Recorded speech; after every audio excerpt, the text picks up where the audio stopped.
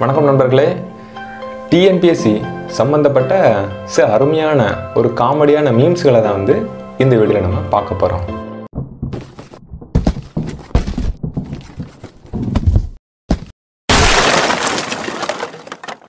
ஒரு பொண்ணு ஒரு பையன்கிட்ட கேட்குறாங்க group four exam pass பண்ணிடுவியா?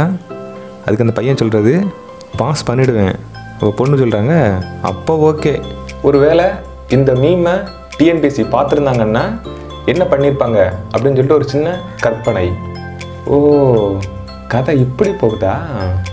March மாதம் ரிசல்ட் விட்டால் தானடா ஓகே ஆகும். என்ன பண்ணலாம்? ஆ. ஹலோ? நியூஸ் சேனலா?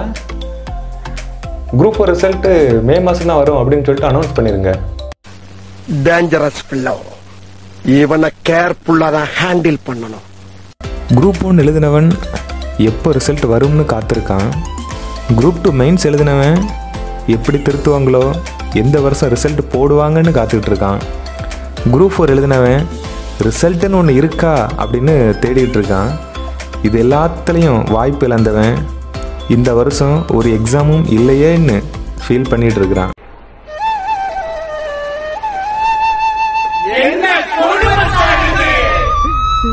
இதெல்லாம் ரொம்ப தப்புங்க. இப்படி குளறுபடி பண்ணால் எப்போ போஸ்டிங் வாங்கி எப்போ நாங்கள் கல்யாணம் பண்ணுறது கல்யாணமா? உனக்கு கல்யாணம் ஆயிடக்கூடாதுன்னு தாண்டா நாங்கள் இன்னும் ரிசல்ட்டை விடாமல் ஹோல்டு பண்ணி வச்சிருக்கிறோம். போடா. ஆண்டவனே நம்ம பக்கம் இருக்கா?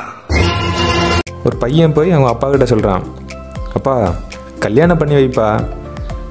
டிஎன்பிஎஸ்சி ரிசல்ட் வருதுன்னு சொன்னால அது முதல்ல வரட்டும். அப்புறம் கல்யாணத்தை பற்றி பேசலாம். குரூப் ஃபோர் ரிசல்ட் விட்டதுக்கு அப்புறம் அவங்க பையன் அவங்க அப்பா கிட்ட போய் கேட்குறான் எப்பா குரூப் ஃபோர் ரிசல்ட் விட்டுட்டாங்க. நீயா கல்யாணம் பண்ணி வைக்கிறியா? இல்லை யாரையா இழுத்துட்டு ஓடட்டுமா? வாட் ஆர் அபவுட் ஒரு ஜென்டில்மேனை பார்த்து கேட்கிற கேள்வியா இது? ஹேர் ஸ்டைல பார்த்தாவே தெரியவனா இவற்றை கேட்கலாமா? வேணாமான்னு. Bad man